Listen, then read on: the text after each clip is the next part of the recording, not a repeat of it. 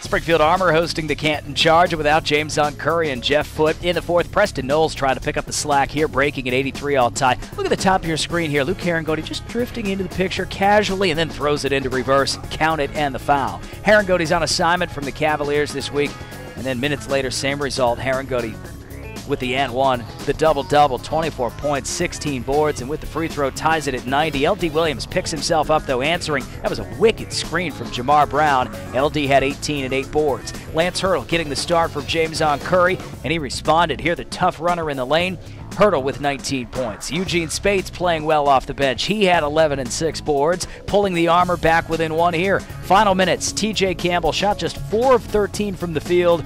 I think you know where I'm going with this. Clutch three ball gave the charge a four point lead. So the armor down four. Jerry Smith pushing it up the floor, gets three back the hard way, and with the free throw, pulls the armor within one.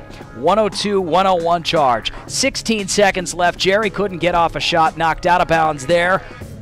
And then Smith called for the foul on the ensuing inbounds, and that would ice it for Canton, much to the dismay of Coach MacKinnon.